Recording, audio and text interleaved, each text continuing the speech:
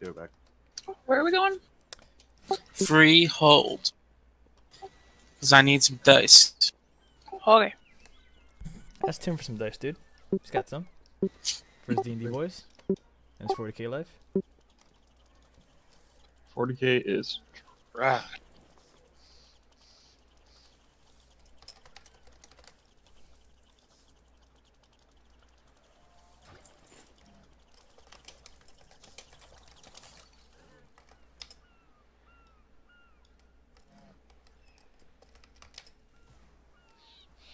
Yo, this dude just walked up to me and gave me a flask.